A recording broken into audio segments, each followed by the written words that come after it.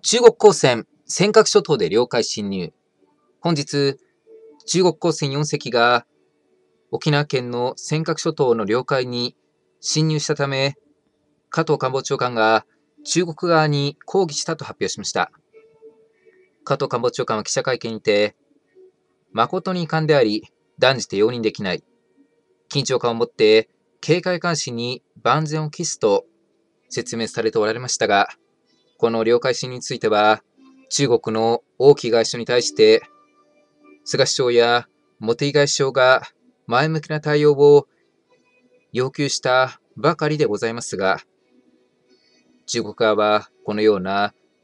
領海侵入でさらに日本側を挑発してしまいました。また、こういった尖閣諸島における中国船の動き、海上保安庁はマスコミに対して詳しく伝えておりますが、マスコミが報じず、国民に実態が伝わっていないという問題がございます。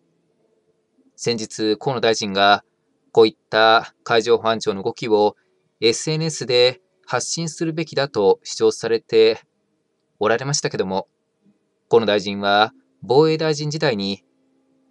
自衛隊がスクランブル発信するたびに、その状況をツイッターで公表するように改めておられます。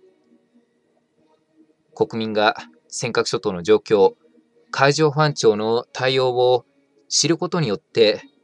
世論が作られ、海上保安庁の装備や人員のより一層の充実につながるものと思われますので、海上保安庁には可能であればリアルタイムに尖閣諸島の状況を SNS などを通じ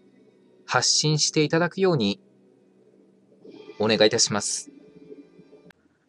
以上になります。ご清聴いただきありがとうございました。